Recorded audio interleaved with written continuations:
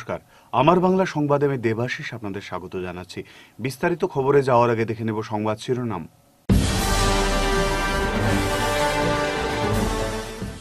জমি ক্রয় বিক্রয়ে চরম জনহয়রানি, সরব জেলা বার অ্যাসোসিয়েশন।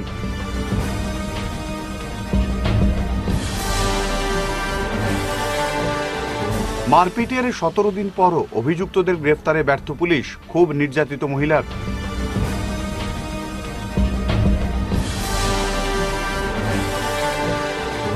পারিতোষিক আদায়ের ফের বিক্ষোভ কর্মসূচি রন্ধন কর্মীদের স্মারকপত্র মুখ্যমন্ত্রীকে।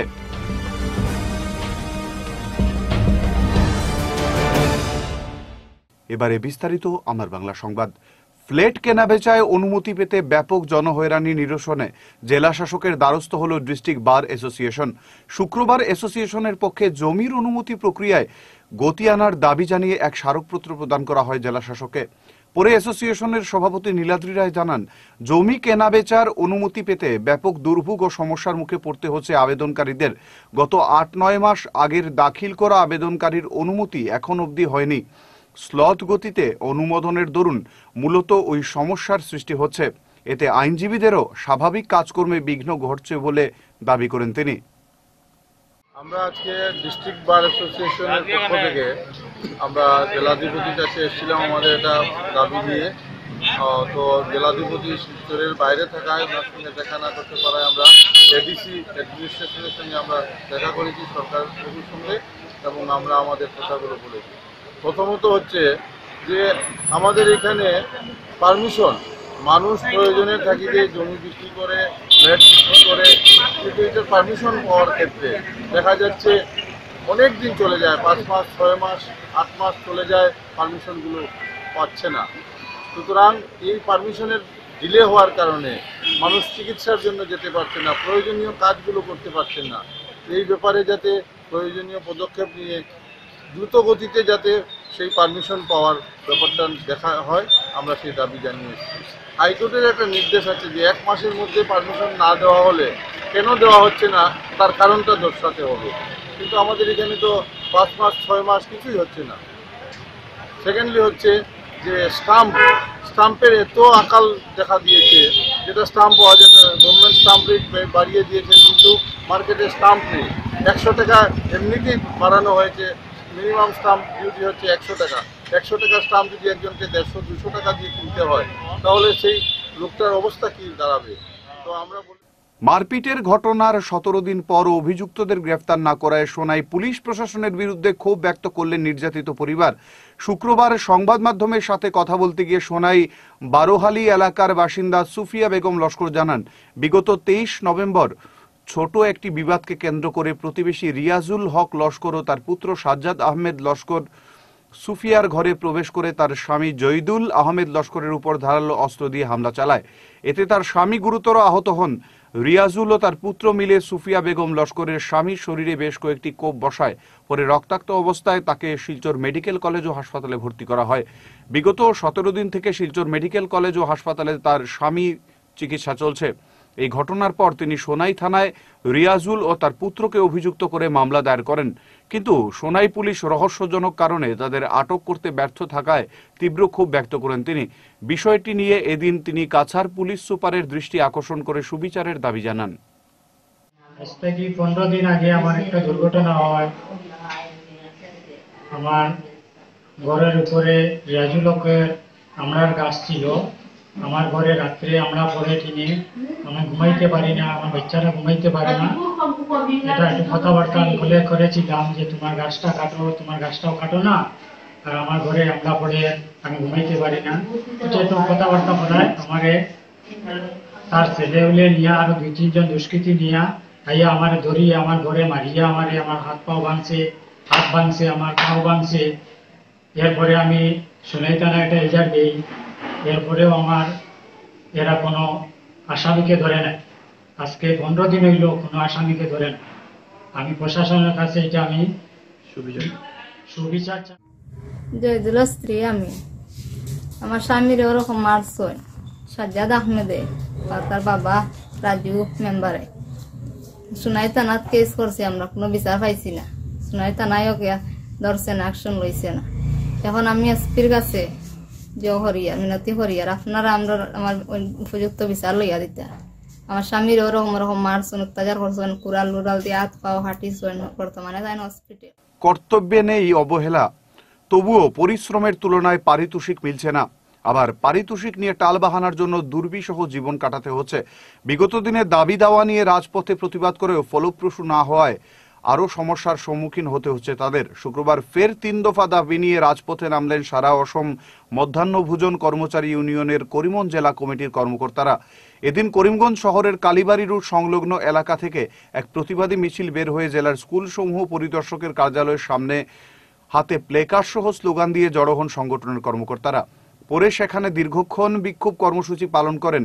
পরে তিন দফা দাবি সম্বলিত একটি স্মারকপত্র রাজ্যের মুখ্যমন্ত্রী ডক্টর হিমন্ত বিশ্ব শর্মার উদ্দেশ্যে তুলে দেওয়া হয়। সংগঠনের পক্ষ থেকে এদিন বিক্ষোভ চলাকালীন তারা বলেন, দীর্ঘদিন থেকে তাদের পারিতোষিক সহ বকেয়া নিয়ে সরকার টালবাহানা করছে। পারিতোষিক থেকে বঞ্চিত হলেও তারা নিষ্ঠার সাথে কাজ করে যাচ্ছেন। কিন্তু দীর্ঘদিন থেকে পারিতোষিক বন্ধ থাকার ফলে পরিবার প্রতিপালনে তীব্র সমস্যার মুখে পড়তে হচ্ছে তাদের। তাই অতি সত্বর তাদের দাবি পূরণ না হলে আগামী দিনে বৃহত্তর আন্দোলনে পা ফেলবেন বলে সাফ জানিয়ে দেন তারা। আজকে সারা আসামের প্রত্যেক জেলায় সেই আন্দোলন হচ্ছে এবং আগামী বিশ তারিখ আমরা বিধানসভার সম্মুখে ধর্ণা প্রদর্শন করব। যতক্ষণ না রন্ধন কর্মীরা তাদের সেই দাবি দাবা আদায় করতে না পারছে, ততক্ষণ পর্যন্ত আমরা আন্দোলন চালিয়ে যাব। এই অঙ্গীকার করে আমরা কয়েকটি দাবি কেন্দ্রীয় রন্ধনশালা যেগুলো ডিরেক্ট বেনিফিট স্কিমের আওতায় রন্ধন কর্মসূচিটা বেসরকারি হাতে তুলে দেওয়ার চেষ্টা করছে। কাজের নিরাপত্তা প্রদানের জন্য আজকে কিছু স্কুল একসাথ হয়ে গেছে, এক- একসাথে করে রন্ধন কর্মীরা আজকে অতিরিক্ত হয়ে গেছে মেয়েদেরকে ছাঁটাই করার চেষ্টা করছে।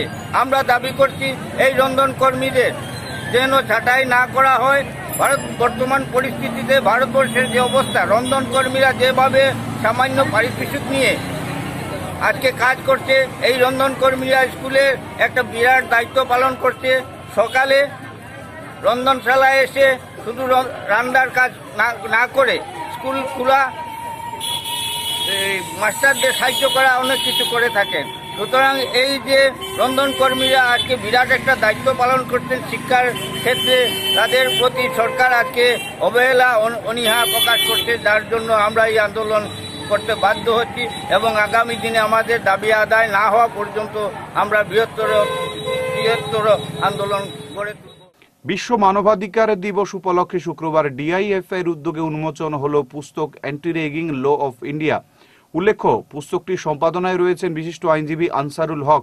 এদিনের উন্মোচনী অনুষ্ঠানে উপস্থিত ছিলেন বরাক উপত্যকার বিশিষ্টজনেরা যুব প্রজন্ম তথা যুব সমাজরে র্যাগিংয়ের আতঙ্ক থেকে বয় থেকে মুক্তি পাইতে যে anti ragging laws in India নামে যে বইটা লিখেছেন, এটা সমাজে একটা অতুলনীয় উপহার।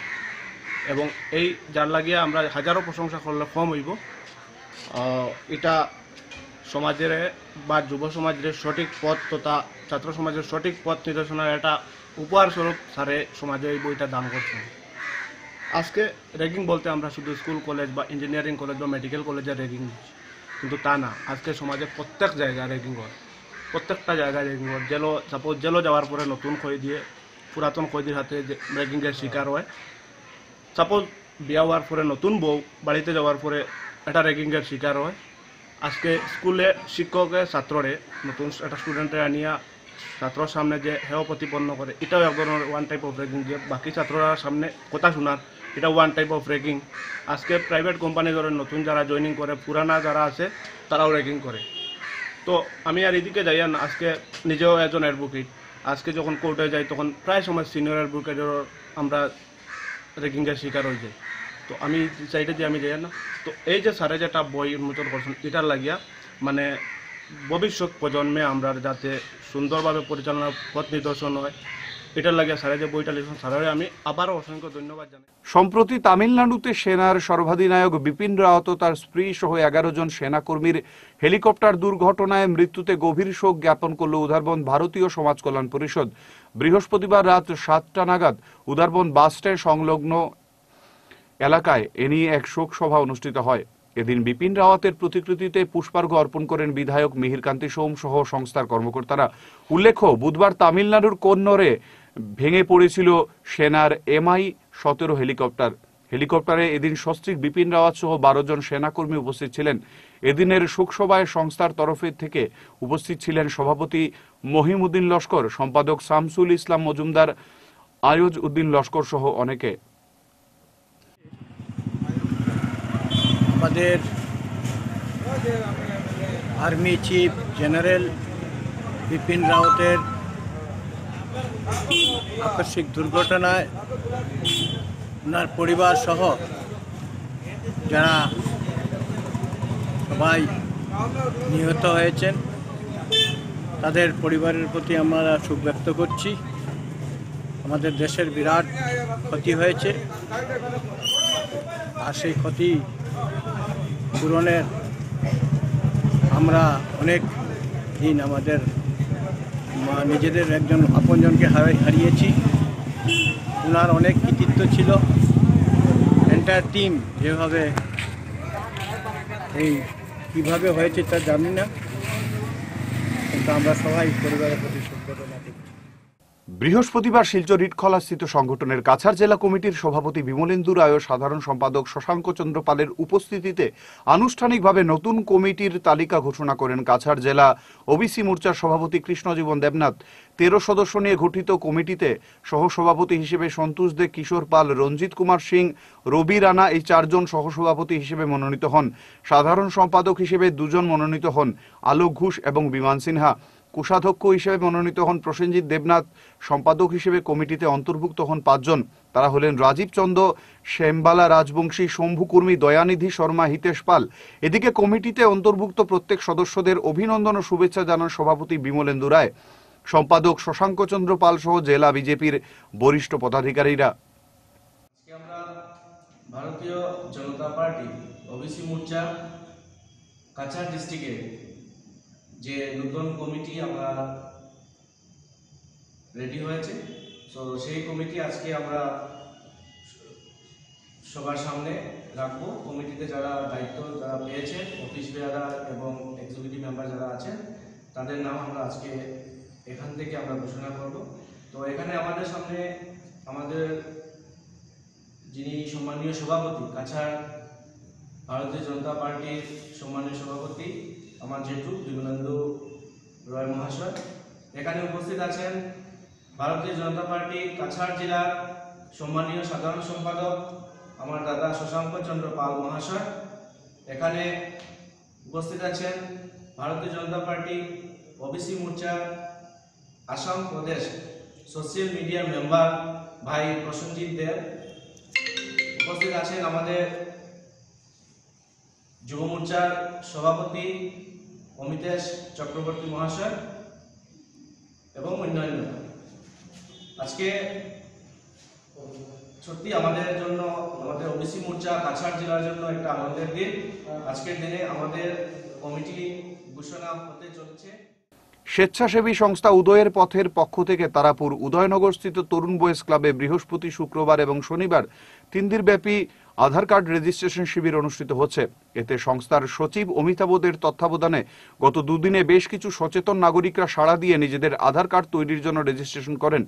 এদিকে যে সকল নাগরিকরা এখনও নিজেদের আধার কার্ড তৈরি করতে অসমর্থ রয়েছেন, তারা সেই কেন্দ্রে গিয়ে আবেদন করতে পারবেন বলে সংস্থার তরফ থেকে জানানো হয়। আমরা এসেছি তরুণ বয়স ক্লাব আঠাশ নং ওয়ার্ডের। আমরা এই জায়গায় একটা আধার ক্যাম্প করেছি। এই জায়গায় যারা বাসিন্দারা আছেন, অনেকেরই আধার কার্ড নেই। আমাদের অনুরোধ, সবাই যেন আধার কার্ড অতি করে নেন, কারণ সরকারি অনেক কিছু কাজ, কাজে আধার কার্ড প্রয়োজন। আমাদের সাথে তরুণ বয়স ক্লাবের অনেকেই সদস্য আমাদেরকে সাহায্য করেছেন এই জায়গায় ক্যাম্পটা আনার জন্য। সঙ্গে আছেন আমাদের প্রণব চক্রবর্তী এবং দেবব্রত ভট্টাচার্য। ওনারা অনেক দিন ধরে আমাদের এনজিওকে সাথে যোগাযোগ করে যে এই আধার কার্ডটা, ক্যাম্পটা এই জায়গায় করার জন্য, তরুণ বয়স ক্লাবের মধ্যে করার জন্য যাতে এই আশেপাশে, আঠাশ নং ওয়ার্ডের আশেপাশে অনেক মানুষের আধার কার্ড নেই, ওদের যেন উপকৃত হন। আমরা আশা করব আগামীকালও আমরা এই আধার কার্ডের ক্যাম্পটা চালিয়ে যাওয়ার জন্য। যথাসম্ভব আমরা এই ক্যাম্পটা আমরা চালাবো কালকে হাইলাকান্দি জেলার অধীনস্থ সিঙ্গালা চা বাগানের নাচঘর সহ এলাকার যাতায়াতের জন্য একমাত্র সড়কের বেহাল অবস্থার সড়ক হলেন স্থানীয়রা শুক্রবার সাংবাদিকদের মুখোমুখি হয়ে দিলীপ বারুই সহ অন্যান্যরা জানান, গ্রামের যাতায়াতের জন্য একমাত্র সড়ক সহ বাগানের নাচঘরের বেহাল অবস্থা। এ নিয়ে বিভাগীয় কর্তৃপক্ষের কাছে দাবি জানালে কোনো সুরাহা হয়নি। বিগত দিনে তৎকালীন মুখ্যমন্ত্রী সর্বানন্দ সোনোয়ালকে দাবি জানালে তিনি কিছু সমস্যা সমাধান করেন। এদিকে এলাকায় থাকা নাচঘর ও সড়কের সংস্কারের জন্য কোনো জনপ্রতিনিধি বা বিভাগীয় কর্তৃপক্ষরা এগিয়ে না আসায় অবশেষে প্রেস বার্তায় বিষয়টিতে রাজ্যের বর্তমান মুখ্যমন্ত্রী ডক্টর হিমন্ত বিশ্ব শর্মার দৃষ্টি আকর্ষণ করেন তারা हमारे पूर्ववर्ती मुख्यमंत्री सर्बानंद सोनोवाल जी ने अनुमोदन दिए थे लेकिन ना जाने क्या हो गया किधर गुम हो गया इसलिए हम अभी हमारे हिमंत विश्व शर्मा जी को अनुरोध कर रहा हूँ कि हमारे नाचघर की तरफ़ कृपा दृष्टि करके इनको बनवाने का कोशिश करें। और ज़्यादा कुछ नहीं कहूँगा। रास्ता भी वैसा ही पड़ा है। दो चार बार नापा हमारा लड़का बच्चा सब स्कूल जाने में बहुत तकलीफ़ होता है ज़्यादा कादा कीचड़ होता है। कोई देखता ही नहीं है। सरकार तो हम लोग का है बीजेपी सरकार है। बहुत मेहनत से हम लोग ये सब करता है। लेकिन अब जो आशा था हमारे मुख्यमंत्री जी के हाथ में है इसलिए मैं ज़्यादा कुछ नहीं कहना चाहता। हिमंत विश्वा शर्मा जी आप कृपा करके हमारे सिंगला नाच घर के तरफ़ ध्यान दीजिए हमारे रास्ते की तरफ़ ध्यान दीजिए। बहुत पिछड़ गए। फ़ील्ड फ़ील्ड फ़ील्ड फ़ील्ड भी हमारे वैसे पड़ा हुआ है बच्चे को खेलने का वो भी वैसे है। फ़ील्ड को भी জনগণের অধিকার সম্বন্ধে ওয়াকিবহাল সহ গোটা বিশ্বে এক অন্যের সাথে সম্প্রতি ও ভ্রাতৃত্বের বন্ধন গুরুত্ব আরোপ করতে গোটা বিশ্বে উদযাপিত হল মানবাধিকার দিবস। এর থেকে বাদ যায়নি বরাক উপত্যকার সীমান্ত শহর করিমগঞ্জ। এই উপলক্ষে শুক্রবার করিমগঞ্জ আইন কলেজের পক্ষ থেকে এক মিছিল বের করা হয়। জনগণের মধ্যে মানবাধিকার বার্তা ছড়িয়ে দিতে এই উদ্যোগ নেয় কলেজ কর্তৃপক্ষ। ডিস্ট্রিক্ট লিগাল সার্ভিস অথরিটির পক্ষ থেকে আমরা উদযাপন করছি। এবং এটার মূল লক্ষ্য হলো জনসাধারণের মধ্যে মানবাধিকার নিয়ে সচেতনতা সৃষ্টি করা। সেই হিসাবে আমাদের ডিস্ট্রিক্ট লিগাল সার্ভিস অথরিটির কর্তৃপক্ষ এবং আমাদের করিমগঞ্জ ল কলেজের ছাত্রছাত্রীরা মিলে একটা পথ শোভাযাত্রার আয়োজন হয়েছে। সেটা করিমগঞ্জ ল কলেজ থেকে শুরু করে গঙ্গা ভান্ডারের সামনে গিয়ে মিলিত হবে এবং সেখানে বিভিন্ন ধরনের মানবাধিকার নিয়ে ছাত্রছাত্রীরা সংক্ষিপ্ত আকারে জনসাধারণের উদ্দেশ্যে কিছু সচেতনতামূলক বক্তব্য রাখবেন। এর মাধ্যমে এই প্রোগ্রামটা শেষ হওয়ার পরে আবার গঙ্গা ভান্ডারের সামনে থেকে পদযাত্রার মাধ্যমে করিমগঞ্জ ল কলেজে এসে আমাদের এই অনুষ্ঠানটা হাইলাকান্দি সমাজ কল্যাণ বিভাগের বৃহৎ কেলেঙ্কারির ঘটনা ঘটেছে। বিভাগীয় কেরানি আক্তার হোসেন ভুয়া প্রমাণপত্র দিয়ে অ্যাকাউন্ট বানিয়ে কোটি কোটি টাকার আত্মসাৎ করেছেন বলে অভিযোগ করেছেন এজে ওয়াইসিপির কেন্দ্রীয় নেতা কবির উদ্দিন লস্কর শুক্রবার এক সাংবাদিক সম্মেলনে কবির উদ্দিন জানান সমাজ কল্যাণ বিভাগের এলডি আক্তার হোসেন তার স্ত্রী সহ ঘনিষ্ঠদের নামে প্রতিবন্ধীর ভুয়া প্রমাণপত্র দিয়ে অ্যাকাউন্ট বানিয়ে আড়াই কোটি টাকা আত্মসাত করে পলায়ন করেছেন। তিনি এই বিষয়ে প্রতিবাদ সাব্যস্ত করে রাজ্যের মুখ্যমন্ত্রী সহ হাইলাকান্দি জেলা প্রশাসনের কাছে উপযুক্ত তদন্ত দুর্নীতিতে লিপ্ত আক্তার হোসেন সহ তার সঙ্গীদের বিরুদ্ধে ব্যবস্থা গ্রহণের জোরালো দাবি জানান। তিনি হাইলাকান্দি জেলা প্রশাসনকে জানিয়ে দেন, তিন দিনের মধ্যে বিহিত ব্যবস্থা গ্রহণ না করলে এজে ওয়াইসিপি বিভাগের কার্যালয়ে অনির্দিষ্টকালের জন্য তালাবন্ধ কার্যসূচি শুরু করতে বাধ্য হবে। সাংবাদিক সম্মেলনে উপস্থিত ছিলেন এজেআই ওয়াইসিপির জেলা কমিটির সহ সম্পাদক রবিজুল ইসলাম লস্কর, সাংগঠনিক সম্পাদক আনোয়ার হোসেন লস্কর, কার্যনির্বাহী সদস্য হুসেন আহমেদ মজুমদার, সালেহ আহমেদ লস্কর, নাজমুল হক লস্কর প্রমুখ। হাইলাকান্দি জিলা সমাজ কল্যাণ বিভাগ বিভাগত বৃহৎ এটা চেণ্ডিকেট হৈছে, বৃহৎ এটা কেলেংকাৰী হৈছে আৰু সেই কেলেংকাৰী আমি অসম জাতীয়তাবাদী যুৱ ছাত্ৰ পৰিষদে ফাদিল কৰিবলৈ লৈছোঁ।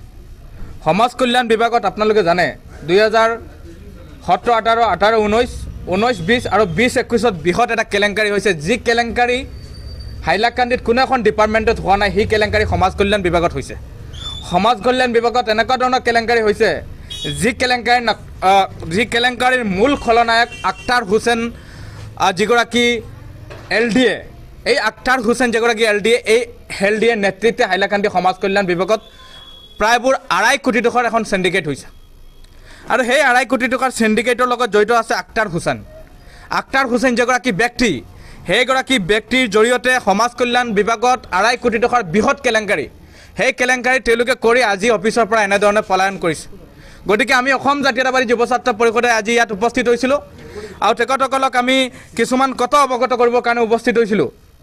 যে হাইলাকান্দি তেওঁলোকে বোৱা চেণ্ডিকেটৰ নামত বোৱা হেণ্ডিক্ৰাফ্ট যিবিলাক মানুহ হেণ্ডিক্ৰাফ্ট নহয় তেখেতসকলৰ নামত তেওঁলোকে একাউণ্ট খুলি, তেখেতসকলৰ ডকুমেণ্ট বোৱা বনাই, তেওঁলোকে আঢ়ৈ কোটি টকা হাইলাকান্দিত তেওঁলোকে আত্মসাত কৰি দেশের সেনাবাহিনীর সর্বাধিনায়ক বিপিন রাওয়াত, তার স্ত্রী মধুলিকা রাওয়াত সহ অন্যান্য এগারো জন বীর সেনার মর্মান্তিক মৃত্যুর গভীর শোক প্রকাশ করল রামনগর গ্লোবাল পাবলিক স্কুল। শুক্রবার স্কুলে আয়োজিত এক শোকসভায় দেশের জন্য জীবন সমর্পিত করেছিলেন তাদের মর্মান্তিক মৃত্যুতে গভীর শোক প্রকাশ করা হয়। শোকাহত পরিবেশে শ্রদ্ধাঞ্জলি অর্পণ করা হয় প্রয়াতদের প্রতি। বিপিন রাওয়াত সহ অন্যান্যদের প্রতিকৃতিতে মাল্যদান করেন বিশিষ্ট জনেরা সহ স্কুলের শিক্ষক শিক্ষিকারা। গভীর শোক প্রকাশ করে বক্তব্য রাখেন সিআরপিএফ এর অ্যাসিস্ট্যান্ট কমান্ডেন্ট পিসি পানিগ্রাহী, স্কুলের কর্ণধার আতাহুর রহমান লস্কর। অন্যদের মধ্যে ছিলেন প্রধান শিক্ষিকা মধুমিতা দেব, তাপস্মিতা দেব, সুনয়না গোয়ালা, সঙ্গীতা দাস, রাজবংশী প্রিয়া দাস আশা সুপারভাইজার মিশন নাথ প্রমুখ। যে ক্ষতি আমাদের দেশে সেটা পূরণ করা অসম্ভব হবে, আমরা শুনতে পেরেছি আটই সেপ্টেম্বর যিনি আমাদের দেশের আর্মি চিফ ডিফেন্স স্টাফ ছিলেন, শ্রী বিপিন বিপিন রাওয়াতজি এবং সাথে ওনার সহধর্মিনী এবং সাথে আরও এগারো জন বিশিষ্ট সেনাদের অফিসাররা ছিলেন। ওনারা হেলিকপ্টার কেস হয়েছে তামিলনাড়ু রাজ্যতে। ওনাদের প্রাণ আমাদের গোটা দেশের জন্য ওনারা আত্মবলিদান দিয়েছেন সত্যি, আমরা গোটা ভারতীয় অত্যন্ত মর্মাহত এবং অত্যন্ত দুঃখিত। আমাদের এই স্থান, বিপিন রাওয়াতজির এই স্থান কখনো পূরণ হবে না। উনি যতদিন আমরা থাকব, ততদিন উনি ভারতীয় ভারতীয়দের অন্তরে অন্তঃস্থলে উনি থাকবেন। তফসিলি জাতি মোর্চা রাজ্য কার্যনির্বাহী সভা করিমগঞ্জে আয়োজন হতে চলেছে। এ নিয়ে ব্যাপক প্রস্তুতি শুরু হয়েছে। মোর্চার সভা অনুষ্ঠিত হবে আগামী সতেরো ও আঠেরো ডিসেম্বর। শহরের নীলমণি স্কুল খেলার মাঠে কার্যক্রম আয়োজন হবে। শুক্রবার শ্যামাপ্রসাদ মুখার্জি ভবনে এক সাংবাদিক সম্মেলনে সংগঠনের কর্মকর্তারা সভা আয়োজনের ব্যাপারে বিস্তারিত জানান। রাজ্য কার্যনির্বাহী সভা সার্থক করে তোলার জন্য করিমগঞ্জবাসীর সহযোগিতা কামনা করা হয়েছে। উল্লেখ্য, উনিশশো সালের পর করিমগঞ্জে ফের রাজ্য কার্যনির্বাহী সভা আয়োজন হতে চলেছে। আমাদের যেগুলি প্রোগ্রাম আছে, এই প্রোগ্রামগুলি টাইম টু টাইম আপডেটস আপনাদেরকে আমরা দেব। এর আগে এখানে যেহেতু স্টেট এক্সিকিউটিভ হয়ে গেছে প্যারেন্ট বডি আর এখন আবার এসসি মোর্চা স্টেট এক্সিকিউটিভ হতে চলছে করিমগঞ্জে। তিনও জেলার মাননীয় সভাপতি তিনও জেলার সভাপতিদের কাছ থেকে ফুললি কোঅপারেশন পেয়ে, সবার কোঅপারেশন নিয়ে, সবার সহযোগিতা নিয়ে নিয়ে, সবার আশীর্বাদ নিয়ে আশা করি যে আগামী দিনের আমাদের সতেরো, আঠারো তারিখ তারিখ যেগুলি কার্যক্রম আছে, আমরা সুন্দরভাবে করতে পারব। তাই আজকে আপনাদের মাধ্যমে আমরা এই মেসেজটা কনভে করছি যে আমাদের সতেরো, আঠারো December SC Morcha state executive যেটা আছে, এটা এখানে আমরা কন্ডাক্ট করব সঙ্গে আপনাদের সবাই কোঅপারেশন আপনাদের সবাই সহযোগিতা, যেহেতু আমি করিমগঞ্জে করিমগঞ্জ পুরসভার অনিয়ম নিয়ে বিজেপি কংগ্রেস তরজা বেশ জমে উঠেছে। দুর্নীতি ও অনিয়ম নিয়ে পুরসভার বিজেপি বোর্ড, কংগ্রেস বোর্ডের বিরুদ্ধে শান ধারালেও পাল্টাও চলছে। শুক্রবার ইন্দিরা ভবনে সাংবাদিক সম্মেলন আয়োজন করে কংগ্রেসি পুর বোর্ডের পক্ষে পার্থসারথী দাস বিজেপি বোর্ডের বিরুদ্ধে খড়গহস্ত হন। বিজেপি পুর বোর্ড কীভাবে কেলেঙ্কারি সংগঠিত হয়েছে তা সাংবাদিকদের কাছে তুলে ধরেন তিনি। সেই সঙ্গে উত্তর করিমগঞ্জের বিধায়ক কমলাক্ষ দে পুরকাইস্তের বিরুদ্ধে অশোভনীয় মন্তব্য করায় তীব্র সমালোচনা করা হয় দুর্নীতি রাজনীতি আমরা সেই ম্যানেজ এবং দুর্নীতি মানিনি বলে আমাদেরকে ফেলানো হয়েছে।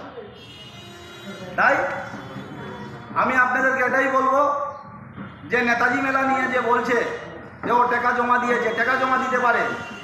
সেটা নিয়মের বইভর্তি করে টাকা জমা দিয়েছে। নিয়মকে বুড়ো আঙ্গুল দেখে টাকা জমা দিয়েছে। কীভাবে করিমগঞ্জ পৌরসভায় টাকাটা জমা হলো? কোনো বোর্ড মিটিং নাই, কোনো বোর্ডের রেজলিউশন নেই। তো সব কথাগুলো ভুয়ো। জনগণকেও বোঝাচ্ছে এবং ভারতীয় জনতা পার্টির নেতাদেরকেও বোঝানো হচ্ছে। আমাদের আমাদের এই যে প্লেনটের মধ্যে আমরা যে কমপ্লেন দিয়েছিলাম, সেটাতে পাঁচ নম্বর পয়েন্টে ছিল যে তাদের ভোটের সময় কোনো এক্সপেন্ডিচার শো করেনি। সেটা বিষয় কিন্তু গতদিন আপনাদের সামনে তুলে ধরেনি। যে আমরা একটাও বোর্ড মিটিং করিনি, আমরা একটাও এক্সপেন্ডিচার পেশ করিনি, সেটা বলেনি। দিয়েছিলাম এবং আমরা আশাবাদী ডেপুটি কমিশনার তদন্ত দিয়েছেন। সঠিক তদন্ত হবে। যদি সঠিক তদন্ত হয়, তাহলে তাদের শাস্তি হবে। এবং আমি চাই, আমি কিন্তু মিশন বাবুকে সেই চিঠির প্রতিলিপি দিয়েছি। আমার বিশ্বাস ছিল, উনাকে এবার আমি বিচারের আসনে বসিয়েছিলাম। কিন্তু উনি যেভাবে কিছুর সাথে বসে কিছু কথা শেষ করার আগে বিশেষ বিশেষ খবর আরও একবার।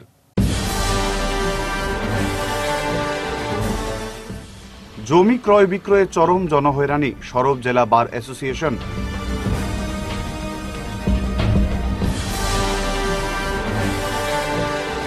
মারপিটের সতেরো দিন পরও অভিযুক্তদের গ্রেফতারে ব্যর্থ পুলিশ, খুব নির্যাতিত মহিলার।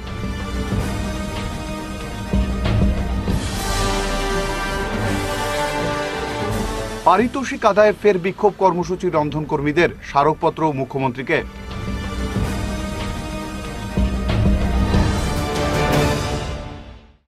এখনকার মতো সংবাদ এ পর্যন্তই ধন্যবাদ।